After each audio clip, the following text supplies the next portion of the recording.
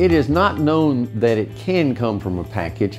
We do know that this virus does not last a long time when it's exposed to the environment, to air and other things. It needs to be within the host, it needs to be within a liquid substance such as the drainage from your nose or your cough, the water vapor from your body.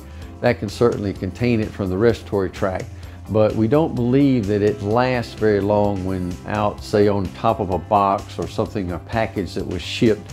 We don't know for certain, but we don't believe that that would be infectious.